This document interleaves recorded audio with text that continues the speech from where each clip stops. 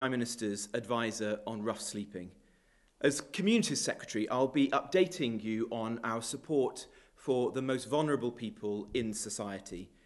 I'll be updating you on how we are shielding people from coronavirus in England and the next steps for our programme of support for rough sleepers during the pandemic.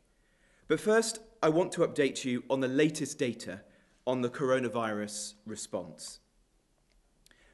4,285,738 tests for coronavirus have now been carried out in the United Kingdom, including 115,725 tests carried out yesterday. 274,762 people have tested positive. That's an increase of 1,936 cases since yesterday. 7,639 people are currently in hospital with coronavirus, down 15% from 8,945 this time last week. And sadly, of those tested positive for coronavirus across all the settings, 38,489 have now died. That's an increase of 113 fatalities since yesterday. Behind each of those deaths is a mourning family and heartbroken friends and loved ones. Our thoughts and prayers, as ever, are with all of them.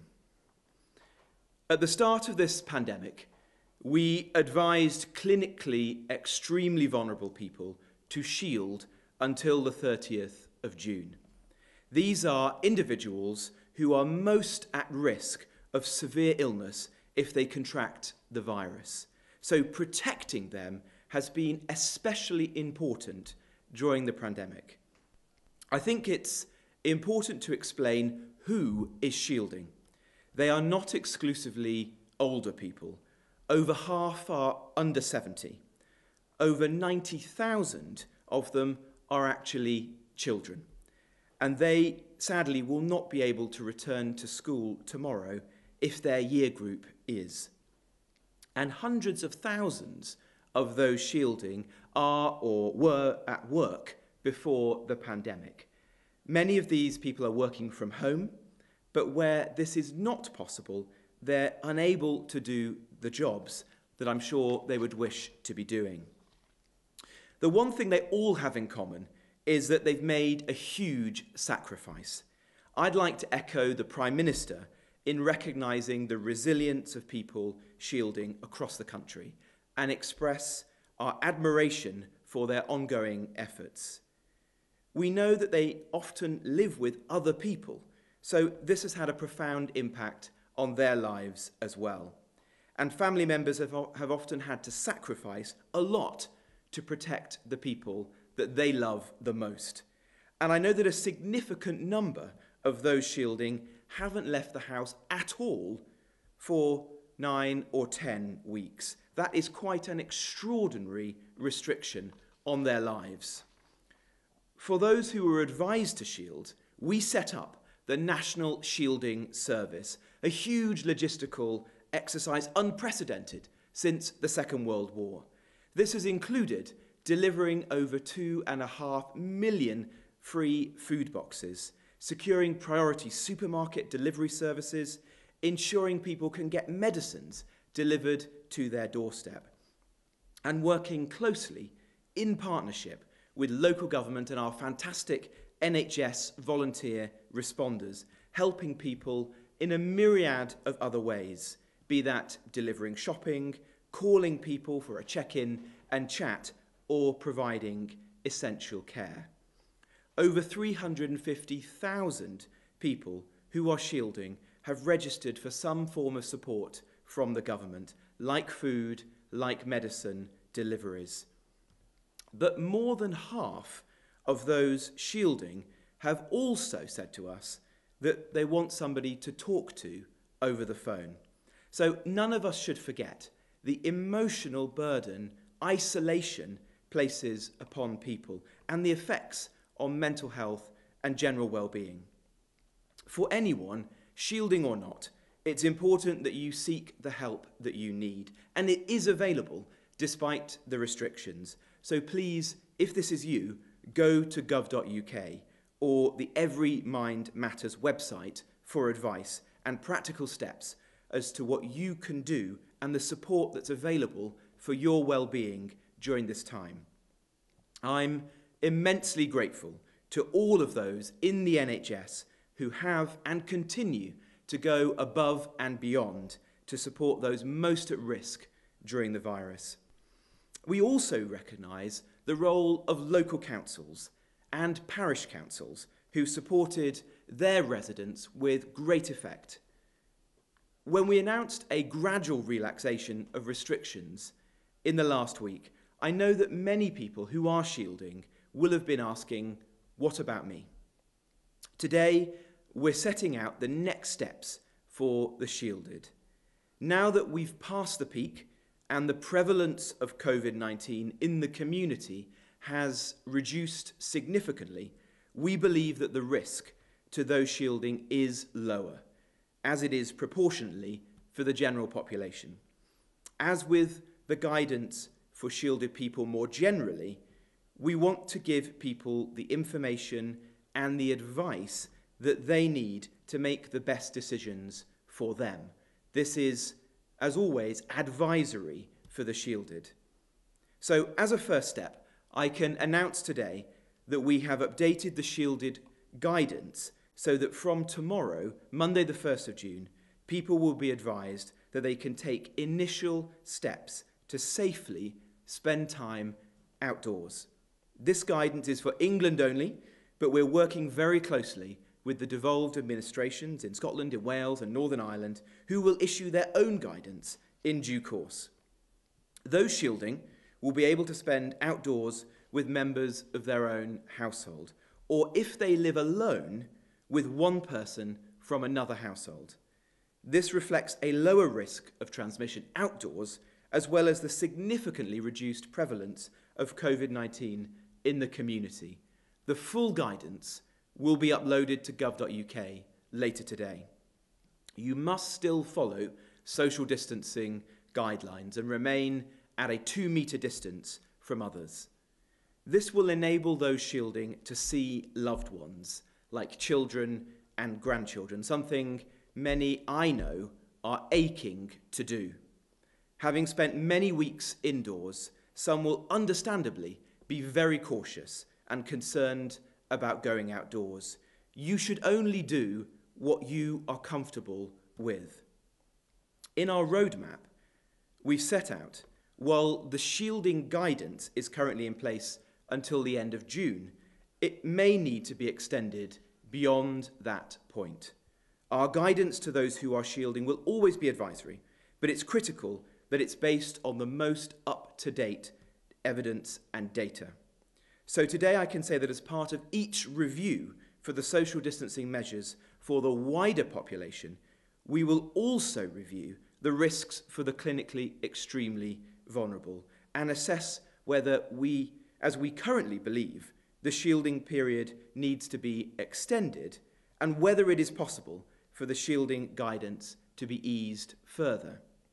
We will base each assessment on clinical advice from our medical experts and the best data available about the prevalence of COVID 19 within the community. The next review of shielding measures will take place in the week commencing the 15th of June and will consider the next steps for the programme more generally beyond the 30th of June. Following that review, the NHS will also write to all individuals on the shielding patient list with information about next steps on shielding advice and the support that will be available to them. If the conditions become less favourable, our advice to those being asked to shield will unfortunately need to be tightened. The government will continue to ensure that support is available to those who need it for as long as possible and for as long as people are advised to follow the shielding guidance. Once again, can I thank all those shielding for your patience and for your fortitude. Everybody across the country appreciates the unique challenges that you face, and we want to continue to do all we can to ensure that whilst you might be at home shielding for a bit longer, you are not alone. Secondly, I want to provide an update on our work on rough sleeping. And I'm joined, as I said earlier, by the Prime Minister's advisor on rough sleeping, Dame Louise Casey. From the start of this pandemic, we believed we had a special duty to protect the most vulnerable in our society. And this was especially necessary for those people sleeping rough on our streets. Working hand in hand with charities and local councils, we've offered accommodation to over 90% of rough sleepers known to us at the start in order to help them to stay safe during the pandemic. I want to thank everyone who's been involved in this huge national effort. Thousands of lives have been protected because of your work. We've ensured councils in England have the funding to help continue housing rough sleepers in emergency accommodation as part of the 3.8 billion pounds we provided to them in the last 2 months and we will continue to fund this essential work to get the job done. But as we enter the next phase in our battle against coronavirus, it's right that we start to look ahead. Our goal has always been that as few people as possible return to the streets. But words and promises are not enough because of the action that we've already taken for the first time in my lifetime. We know who the vast majority of rough sleepers are and where they're living. That means that we can assess each individual's needs and tailor the support that we provide next.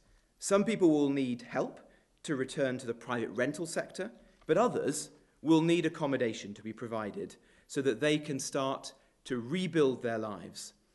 That's why 6,000 new supported homes will be made available for rough sleepers, providing safe accommodation for people we've helped off the streets during the pandemic. The government is backing this effort with 433 million pounds to fast track the safe accommodation desperately needed to ensure as few rough sleepers as possible return to the streets. 3,300 of these new homes will become available in the next 12 months, and 160 million pounds will be spent this year to deliver that. But rough sleeping is as much a health issue as it is a housing issue. It's a crisis of addiction and mental health as well. So we will provide specialist support staff for rough sleepers in this new accommodation to ensure that they can continue to receive the health support that they will need to transform their lives and fulfill their potential.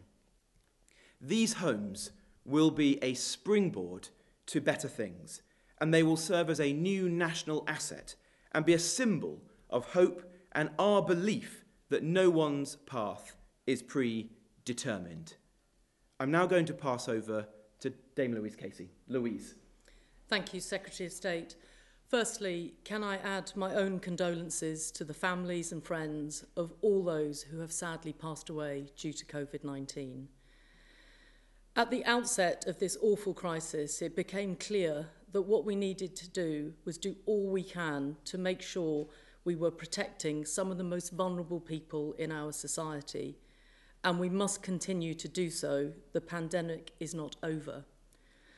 For homeless people, the task was to bring as many people in off the streets and out of communal shelters. The goal was protect rough sleepers from the virus, give them the chance to self-isolate and ultimately, therefore, to do the best we can to save their lives. There was an absolutely extraordinary response – across the public sector, charities and businesses in response to my call to get everyone in. Those efforts have resulted in close to 15,000 people across England now being helped. I'd like to take this opportunity alongside the Secretary of State to thank everyone involved. It was an extraordinary and unusual endeavour. from the dedicated outreach workers, the hard-working council staff, to hotels that have opened their doors, and the faith and community groups who have provided friendship and food. It's been an heartening example of what we can do when we need to do it, and the best of Britain in this time of crisis. And by bringing almost everyone in, we now have another extraordinary and unusual endeavour ahead to try and change their lives for good beyond the immediate response to COVID-19. I stand ready to work with all partners and esteemed colleagues in Wales, in Scotland and in Northern Ireland. So I'm really pleased that the government is investing in these 6,000 new homes along with the extra support and money for the costs of their support, meaning that we can help the most vulnerable rough sleepers in the long term. This is a really good start. I am grateful to the Secretary of State and the Prime Minister for their support. But none of us should underestimate the challenge ahead in order to keep everyone in. There is much more that we need to do, but for now I'd just like to thank those in local government, the health service, the civil servants and the countless charities, community groups who've helped protect this, one of our most vulnerable groups in our society during this pandemic. And those such as the Prince's Trust, Business in the Community, Comic Relief, the Anglican and the Catholic churches, who have pledged wider support. So now that so many are inside, I hope that we can keep it that way. What has been done here is a small but incredible silver lining in the dark cloud that is COVID-19. Thank you. Thank you, Louise. I'm now going to hand over to Dr. Jenny Harries. Jenny. Thank you. Can I have the first slide, please? Uh, so I'm just going to update on some of the indicators in the progress uh, we're having with managing the pandemic, um, carefully and slowly uh, returning to normal. So the first slide that we see here is social distancing uh, information. It's looking at transport use from uh, Department of Transport data. Um, and on the top row, you can see our car, light commercial and heavy goods vehicle use. Uh, and that is, uh, all of this data is laid back to a period uh, of comparison, either earlier in the year or for rail, it goes back to the previous year. And we can see that our car use is gradually picking up uh, as we come out of some of the some of the lockdown measures and people are travelling a little further. Uh, important to remind uh, people that we should only be travelling in cars with our own household members. Uh, it's difficult to distance, so this is a potential route of transmission. So uh, hopefully this car use is uh, just for ourselves and our own household members. We can also see light commercial vehicle use gradually picking up as people start returning to work. Uh, and the heavy goods vehicle use has, of course, been uh, much higher through this as all those key workers uh, continue to help us manage through the pandemic, delivering uh, essential goods. Um, nevertheless, at the background of this, our national rail, our uh, transport and uh, the bus services have remained very, very low use in comparison to the comparator periods, um, and this reflects ongoing general use by uh, key workers only. And again, really important as we start coming out of lockdown uh, that we're using transports carefully and safely. Uh, try and increase uh, use of walking and cycling. Uh, and if you're going uh, travelling by vehicle, private car with your own household remains the safest. Next slide, please. Uh, so this gives uh, an update, as the uh, Secretary of State has said, on uh, how many tests and confirmed cases we've had. So on the top uh, pink slide, uh, you can see that we have performed 4,285,738 tests in total, um, and in the 24 hours up to this morning, 115,725. So these will be tests which have been done in the labs, uh, have been sent out to individuals at home uh, or have been taken at the satellite units. Um, and we have testing capacity now right up to 200,000. So we have lots of available use there as we move into this next critical phase of using our um, uh, test and track system uh, to try and help support coming out of the pandemic. Uh, there is variation and um, you can see that generally overall the trend remains upwards and we will be encouraging that as we try and uh, squash the disease wherever it might appear. Uh, the bottom, the green chart, shows the new confirmed cases. So these are all cases which have been confirmed in a laboratory. So 274,762 uh, to date in total, and just under 2,000 confirmed in the last 24 hours. That won't reflect the totality because, uh, as many of you watching will know, uh, you may have had symptoms and not had a test at the time. But nevertheless, again, the rolling average, the blue line, uh, shows that the number of cases overall is coming down, and that is despite uh, increased availability and use of testing. Next slide, please. Uh, this shows our data from hospitals. So if we think back to uh, the early weeks of, uh, or the last end of March, early April, um, with considerable concern about the uh, use in our hospitals, the social distancing measures that people watching have undertaken have ensured that the number of people entering hospital has at all times been within the cap capacity of the NHS and we can see here now that just 545 uh, patients were estimated admissions with COVID-19 on the 29th of May uh, and that's down by over 100 and, uh, 140 uh, from the previous week. That's for England. and And then if we look at data right across the UK for the use of um, ventilator beds, this is now under 10%, uh, trending downwards in every country, which is really good news. Um, and just to highlight that you can see there that we have never really breached uh, the, the limits of that capacity, which has been really successful. Next slide, please. So now we're looking across the country uh, at the number of people in hospital with COVID-19. Um, and what we can see this week, we're down about 15%. Uh, so 7,639 people down from 8,945. And although the shapes of the uh, epidemic in, in England, in the different regions and different countries of the UK are slightly different, with a big peak you can see on the, the blue line at the bottom right for London, nevertheless, they are all continuing to trend downwards. Uh, there have been a few changes in the way data is reported, uh, firstly in Northern Ireland and then in Wales, and that one is particularly marked to explain the variation uh, in, the, in the pattern. Uh, but in reality, all cases are starting to fall, continue to fall, but it is still a very gentle slope downwards. So it is really important that we retain attention, even when we're giving more, being given more freedoms, uh, that we minimise the number of interactions we have and really rigorously stick to social distancing measures.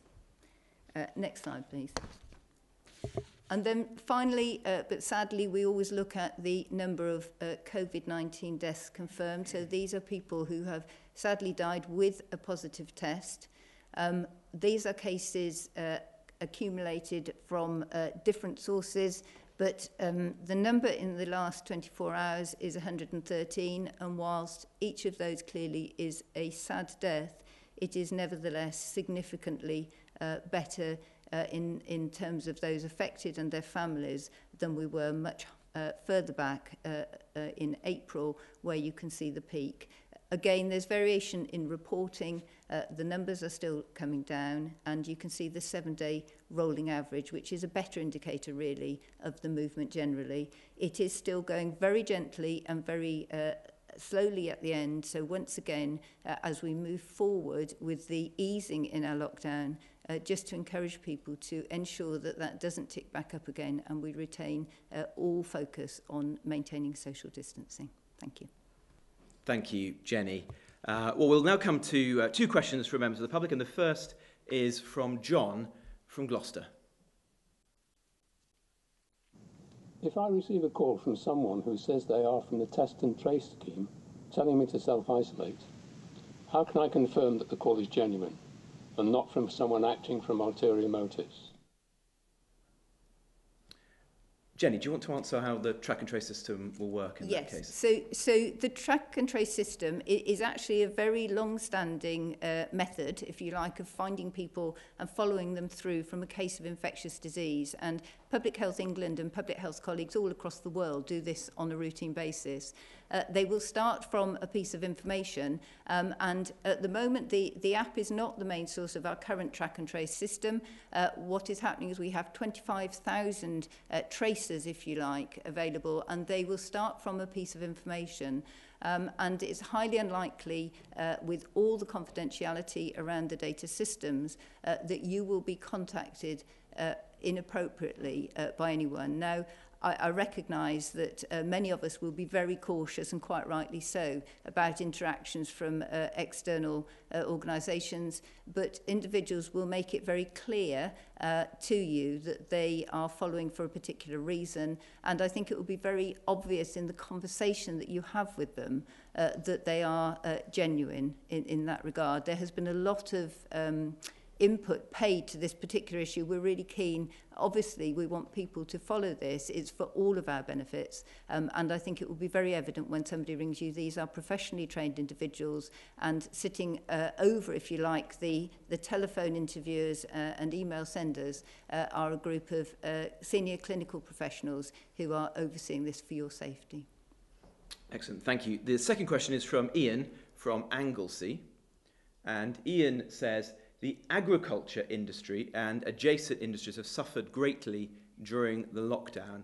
How does the government propose to support rural communities to transcend the coronavirus crisis? Well, an important question, and the government has set out from the beginning to try to protect as many people's livelihoods and as many businesses as we can. We won't be able to protect every job and every business, but the range of measures that we've brought forward as a government are unprecedented in our history and compare very favourably to those that have been brought forward by other governments in other countries around the world. From the job retention scheme, which is open to all sectors, including the agriculture industry, if you wished to take part in it, the CBILS, the loans that are available, the bounce back loans uh, that are available uh, at 24 hours notice for businesses, which uh, tens of thousands of smaller businesses uh, have taken advantage of. And we're also working very closely with the agriculture sector, the food and drink industry,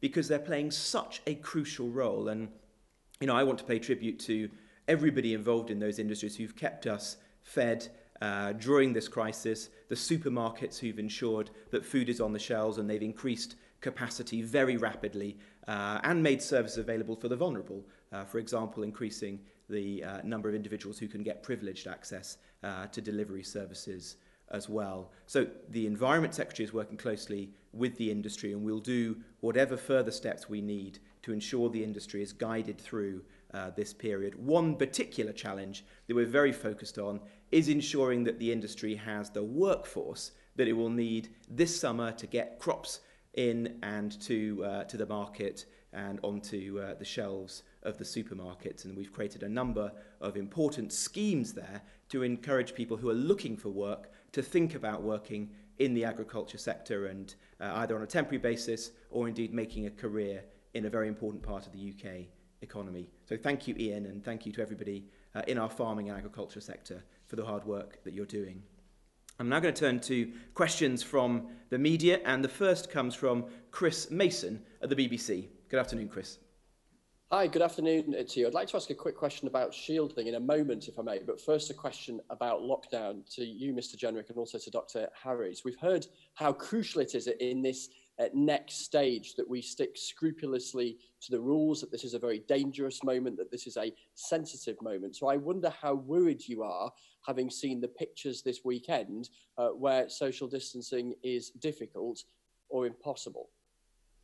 Well, if I can answer first and then um, ask Jenny's view, it's really important that all of us continue to play our part. The scientists and medical advisors to the government have modelled that the measures that we have already eased and the measures that are going to be eased tomorrow, such as the opening of um, car showrooms, outdoor markets for non-essential goods and enabling us to uh, meet uh, members of our own household, uh, outside of our own household rather, outdoors, that those additional easements together will still, in all likelihood, keep the rate of infection below one. So we're reasonably confident that the steps that we've taken and will be taking on Monday are manageable, but we have to all continue to play our part in that because the rate of infection remains somewhere between 0.7 and 0.9, and the room for manoeuvre is quite limited. We'll obviously keep this under very close uh, scrutiny as we uh, move into this next phase and as we approach the next decision point on the 15th of June, and only take further steps if we're confident that we can continue to keep the rate of infection at that manageable level below one. Jenny. Thank you. Um, so I'll probably start with the good news bit, which is uh, we think if you're outdoors, uh, there's very, very low risk of transmission, which is why most of these measures in this early phase where we're going very carefully and slowly, the scientific message is uh, do the outdoor measures first. Um, having said that, um, the vision that you uh, reported of people crowding uh, almost certainly comes with behavioural elements of people cramming into cars, for example, uh, uh, potentially not sticking to the rules of who is in the car, so it should be yourself or your household only, potentially uh, swapping uh, bits of cutlery or, or picnic uh, kit on the beach and, and being very close together. Um, and I think you have absolutely highlighted, as did my uh, Deputy Chief Medical Officer colleague yesterday, this is a really, really critical time. So where we are um, seeing that uh, government is easing measures, the public really, really need to stick to uh, those messages. And it is not just about what it is possible to do, it's about what it is sensible to do. And what is sensible to do is have as few interactions as possible as you can with other people in all settings. But there is obviously a balance point here between uh, uh, our, our mental health, our physical health, and our social well-being and our, our work environment.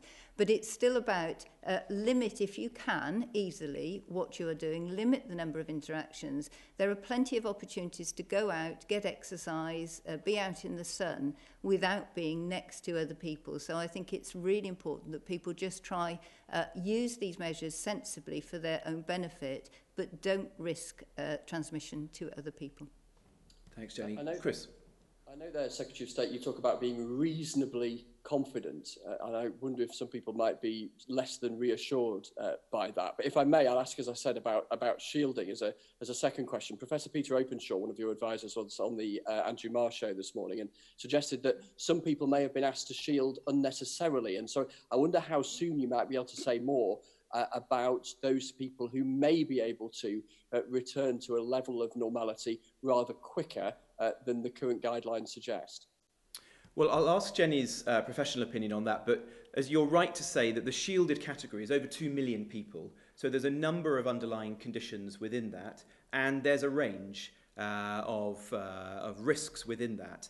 We do want to move to a more specific approach in time, and so we are, uh, or our, our medical advisors are taking, are producing advice as to how we can uh, give people more specific, tailored advice to their own condition rather than the blanket approach that we've done so far.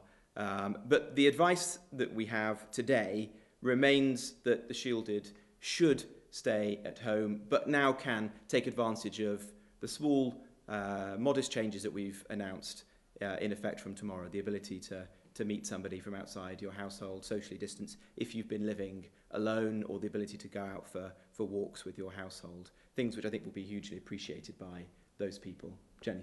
Thank you. Um, so I think just to reiterate something the Secretary of State said earlier, that this is very much advice to these individuals for them to take measures to protect their own health, and that is the starting point. Um, I recognise sometimes that's been interpreted in different ways, and, and we have a very wide range of response to that, with some people being very frightened to uh, do anything at all, which is absolutely understandable, uh, to other people who, uh, at the end of their life, and we recognise this in writing the original guidance, would like to just prioritise things which are important to them, uh, and the risks of this disease are not uh, as important. You know, they want to, to do the things that are really important to them. So it is very much for individuals. But I think uh, one of the problems we've had is uh, it's a hugely complex uh, program. Um, and just the clinical concept of it uh, was based on uh, sensible uh, best first principles, if you like, around respiratory disease, uh, who would be at risk if you have if your immune system is suppressed, uh, as we encountered a new virus. Now, as we're going forward, we now have much more data on individual diseases, so around cardiovascular disease or liver disease or renal disease. Um, and what we're looking to do ahead is to try and understand that risk better, along with other characteristics, so for example, your age, um, and have uh, some sort of way of translating that both for an individual so that they get a sense, a proportionate sense of where their risk is and can make a, a decision uh, in, in a more enhanced way, but also for uh, many of the clinical colleagues who have been doing a fabulous job in general practice and in some specialist services in hospitals. To try and support their patients so that there's an opportunity to have that discussion. So I think in the short term, we are where we are, and as long as uh, the epidemiology continues to show a decline in cases and a reduction in risk in the community, then we will be looking to uh, hopefully help all people to move from that shielded position as quickly as possible. Um, It is possible, of course, that there could be another wave, particularly as we go into the winter. Um, and so what we're really keen to do is ensure that we have this uh, new approach ready for that, and particularly also if we do get a vaccine in the future, so that we can target it, if appropriate, uh, to those people who are most in need. So I think uh, as we go forward, a much more nuanced approach, which I think will be welcome um, and we can explain risk more. But for the time being, I think we are leaving it as it is. It would be very complicated if we're hopefully looking forward to something a, a little bit more uh, relaxed, if you like, over the next couple of months. Great. Thank you very much, Chris. And the next question comes from Paul Brand from ITV. Yeah, thank you both. To the Secretary of State and to the Deputy CMO, we've been hearing from quite a few people who are shielding at the moment who still feel very, very, very um, vulnerable. Given that the number of cases is still higher now than when we first went into lockdown, why should they feel any safer leaving their homes? Well, perhaps I'll ask Jenny to, Yeah, to comment shall I start with that? So I, I think um, for the reasons which I've just uh, articulated before about our understanding of individual risks with individual diseases, that is still a learning process. So it can still be quite difficult to give a very uh, individual approach to that risk assessment. It's, it's, it's a new disease. But I think uh, what we're looking at is the whole um, idea, if you like, behind the shielding programme was because the modelling identified uh, a, a significant number of people uh, at risk, mostly in the elderly, and in fact that is actually still the case, although we have significant numbers shielding uh, who are below that age, but particularly for the elderly, uh, that uh, if we could, if you like, in the nicest possible way, take them out of the peak as it came, uh, that would reduce their exposure to the virus at the time when it was at its highest circulation. And you will have seen from the graphs earlier, that's exactly where we are.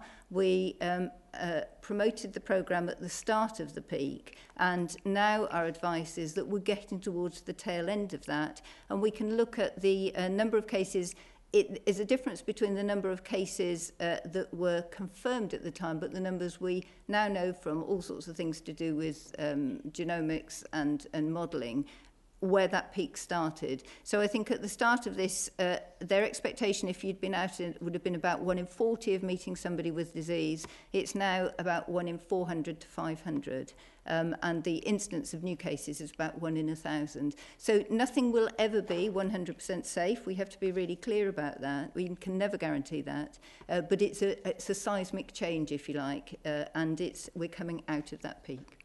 And, and Paul, just to follow up on that, we're not today asking people or advising people to stop shielding.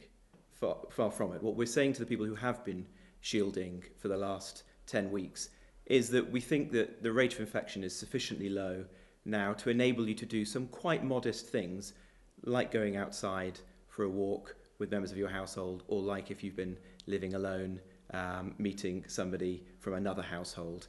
But those are things which will make a huge difference to the lives of these people. As I said earlier in my opening remarks, perhaps as many as a half of the people who've been shielding haven't left the home in all of that time.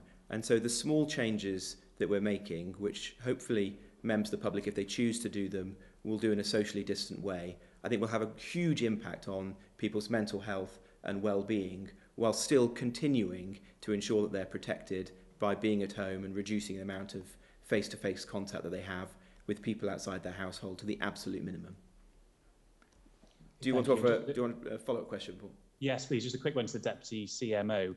Should we be concerned at all that the number of deaths appears to have plateaued over the past sort of five or six days? You know, is progress plateauing perhaps just as we're beginning to lift the lockdown? So to, to answer that, one is if it's genuinely plateauing, yes, we should be very concerned. And that is um, uh, the reason we need to be really, really carefully, not only watching the numbers, but actually watching what we are doing. So we have to keep applying the social distancing measures, limit the number of interactions we have, and very carefully and sensibly uh, pick up those easements to make our lives better, uh, but not overdo it. So limit the number of interactions. Having said that, of course, uh, we know from the data that it does rely in part on when uh, cases are reported, so we can all see the blips at the weekend. So I think we need to be watching over a longer period than a few days to get a sense. And that is, of course, why we have the rolling average, because it gives a much more uh, uh, a proportionate picture, if you like, of what is happening in reality. But yes, it, it is a critical time. We, we need to be very careful. Great. Thank you, Paul, very much indeed. And the next question comes from Jane Deith from Channel 4. Jane. Yes, uh, thank you. Secretary of State, on the uh, easing of lockdown rules in England tomorrow, on the 10th of May, the Prime Minister addressed the nation and said that we would gradually give people more freedoms following a COVID alert level system. And he said, if the alert level won't allow it, we will simply wait until we've got it right. We're currently at level four, which wouldn't allow for a relaxation of social distancing. So if the alert level hasn't changed, what has? Well, thank you very much, Jane. The alert level is changing. We are still at level four, but we're transitioning to level three. And that does enable us to open up very cautiously some aspects of our businesses and our daily lives. And the steps that we're taking are quite modest. They're opening up car showrooms and forecourts, predominantly an outdoor activity. Uh, it's opening up uh, those markets or the stalls on markets which sell non-essential goods. Many of the markets themselves will have been open already but selling food and drink. They'll now be able to sell other products. Again, outdoor where the rate of transmission is lower. And then the important for our well-being uh, measure of enabling people to meet somebody um, from outside of their household. But again, outdoors, socially distanced. So the measures that are coming into force on Monday are cautious, modest ones, entirely consistent with the message that the Prime Minister uh, delivered when he addressed the nation previously. Yesterday, your colleague Jonathan Van Tam said the rules are there for the benefit of, of, of all and they apply to all. Do you agree? Abs- absolutely. Um, so uh, I, I thought his, his exposure of, of what he felt was exactly right. We usually say exactly the same things because we think in public health terms, and I think that's right. And uh, from my own perspective, I can assure you that uh, on a matter of sort of personal and professional integrity, uh, I will always try and follow the rules as I know he does. So yes, I think we all do. But the important thing is there, they are all rules for all of us. And it is really important as we go through into this next critical phase uh, that we do all uh, follow them to the best of our ability and actually even minimise, if you like, some of the freedoms that are there to ensure that we can very gently come out of the pandemic. And if we start to spot things on the data, uh, which is difficult, there's opportunity then for scientific review, uh, advice to government about what things need to be done as we go forward. Thank you very much, um, Jane. Do you want to come, come back with a, a follow-up to either of us, or are you happy with those responses? No, great. Thank you very much indeed. The next question is John Stevens from uh, the Daily Mail. John. Uh, thank you, Secretary of State. Um, I wanted to ask, following your announcement on shielding today, where this leaves people with relatives in care homes, could they soon be allowed to make visits, or could they, for example, see loved ones from a distance outside in a garden or through a window? Um, briefly, I wanted to ask your response to reports today that you gave the green light to a £1 billion housing development just weeks after a Tory party fundraising dinner where you sat at the same table as the developer. Thank you, John. Well, let me answer the, the, uh, the second question first, if I may. Um, we want to build more homes in this country. We have a housing crisis. We need to get the country building. That's absolutely at the heart of the mission of this government. And I think when we come out of this pandemic, it will be even more true that we want to see decent, affordable homes in all parts of the country. And that is what I want to do as Housing Secretary. With, in respect to the planning application that I think you're referring to, that was judged on the merits. It would actually have allowed hundreds of affordable homes to be provided in one of London's uh, most deprived boroughs, which would have been extremely valuable.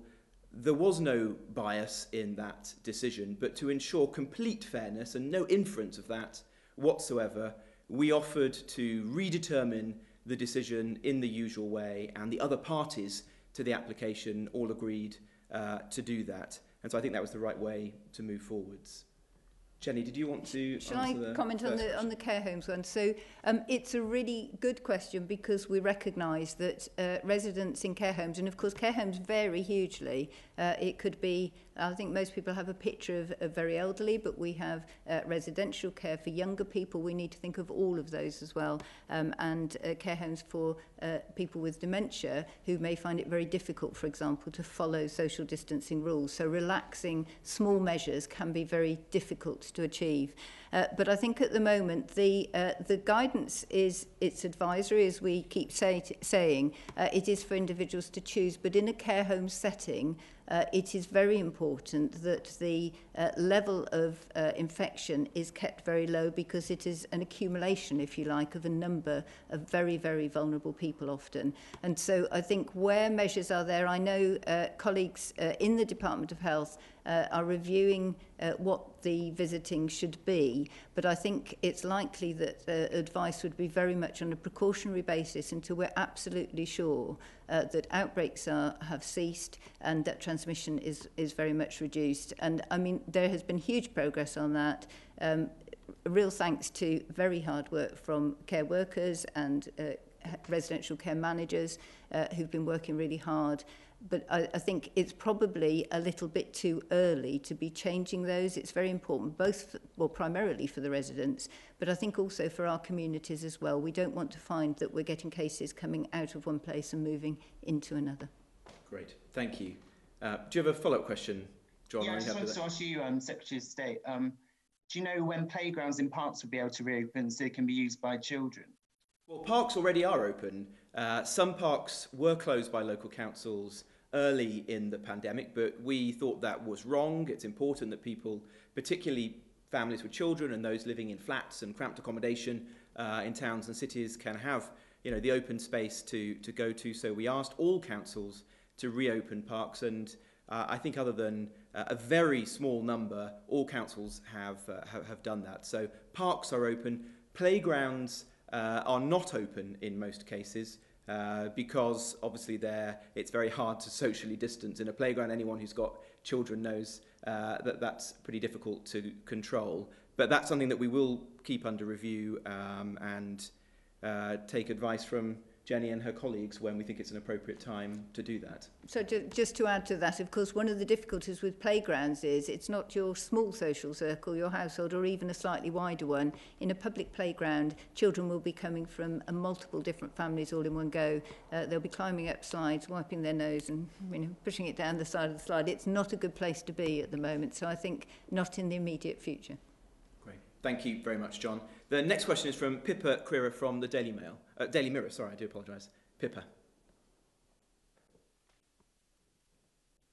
You're on mute, Thank I think, you. Pippa. This is a question. This is a question for the Deputy CMO and you, Secretary of State. And we talk about quite modest changes coming in from tomorrow, but of course, millions of school children, primary school children, are going to start going back to school from tomorrow. How can you reassure parents and teachers that it's going to be safe, not just for the kids themselves, but for the wider community, especially when test and trace doesn't yet seem to be capable of controlling local outbreaks? Well, thank you, Pippa. A a very important question for the millions of parents who will be um, looking to send their children back to school tomorrow, I hope. The first thing I think to say is that 80% of schools have been open throughout the whole of the pandemic for the children of key workers and for certain vulnerable children. And thousands of teachers have been going into their workplaces uh, to look after those children throughout. And we're very grateful for teachers for doing that. So we do believe it's possible to open schools safely, and we have the, uh, the, the track record, if you like, of that, as the schools have been open for many weeks now. We can also look to our uh, European neighbours and see uh, how they've managed to open schools successfully and the lessons uh, that have been learned from that.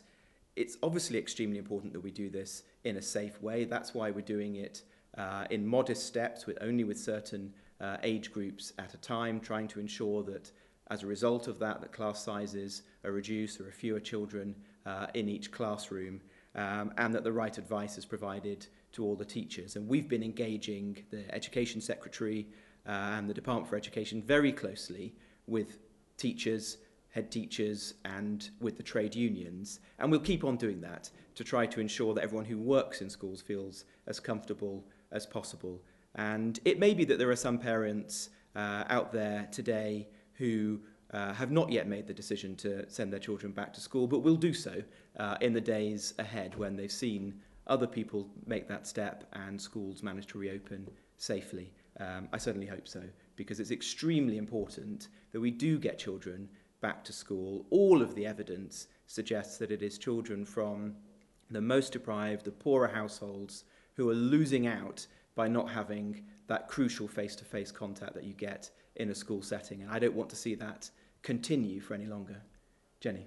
Thank you. Um, I, I I could make some comments about uh, transmission and things in children, but I think they've probably been heard in the media. I think your focus of your question was on the, the track and, uh, and trace.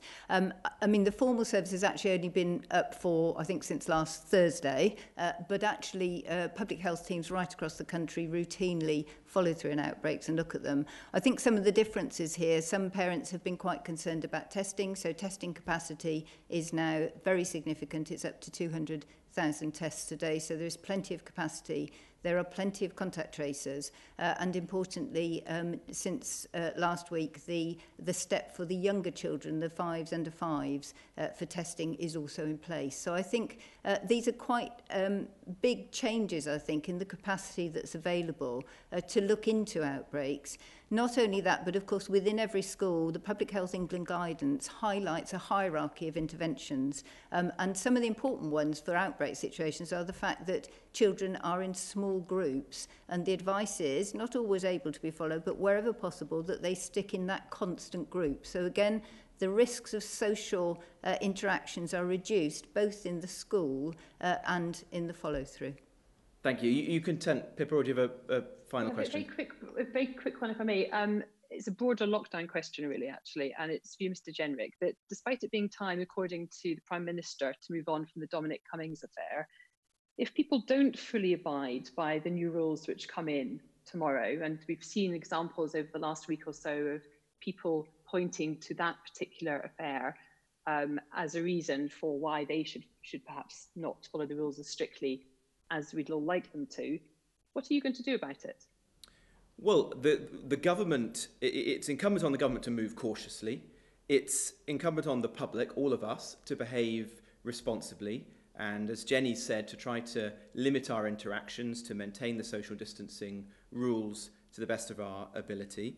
And it's incumbent upon the scientists and the medics who are advising the government to monitor the data as closely as possible and ensure that we politicians are armed with that uh, as we come to the next decision point. And if the rate of transmission does start to rise above one or dangerously close to it, then obviously we won't be able to proceed with some of the other easings that we would all wish to do so that we can get businesses back uh, to work, more children back to school and make our daily lives uh, more bearable. Uh, we're going to be doing this in a very cautious and data-driven way in the days and weeks ahead. Thanks, Pippa. And the last question is from Reverend Stephen Brooks, who is from Keep the Faith magazine. Stephen. Good afternoon, Secretary of State.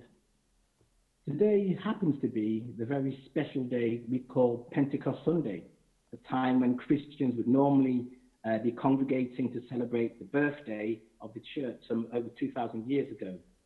We acknowledge that social distancing has an important role in limiting further transmissions of uh, coronavirus.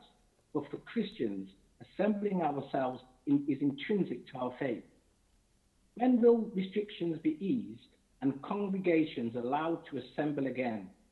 And will the government give churches uh, clear instructions and guidance to prevent any unnecessary breakout of COVID 19, similar to the guidance for education settings, which is very detailed? Because what we want to do is to make sure we do not have uh, a breakout that we saw in Frankfurt, Germany on the 10th of May, where the churches were allowed to reassemble, and then there was a breakout in one congregation of 200 uh, people catching the COVID 19 virus. Thank you very much indeed. Well, I want to see uh, places of worship open as quickly as we can. I understand how important it is for millions of people in this country, and I can understand how people of faith would consider it strange that shops, cafes, pubs, restaurants, many other settings might be open in the weeks and months ahead, but not somewhere as important as a place of worship. We're working very closely with faith leaders. I've convened a task force uh, which has brought together the main faith leaders, um, and we're working to provide exactly the kind of guidance that you're describing. Some faiths have already actually produced detailed guidance, uh, working with Jenny's uh, colleagues at Public Health England, how one might cordon off part of a church or place of worship, how you would ensure it's sufficiently clean, you train the volunteers who run a church, how you might just enable a small number of people to go in at any one time. I think the first logical step is probably to open place of worship for individual or private prayer, and that's what we're working towards with the faith leaders.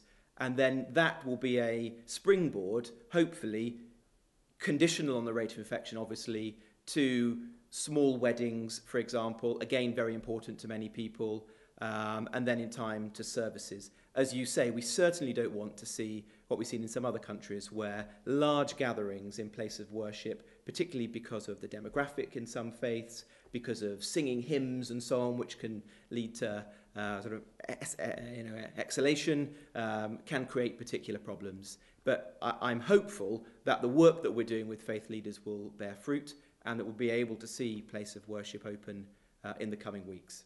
Thank you very much indeed for your question. And that brings uh, this afternoon's press conference to a close. Can I thank uh, Dr. Jenny Harries and, in particular, Dame Louise Casey for joining us today. Thank you.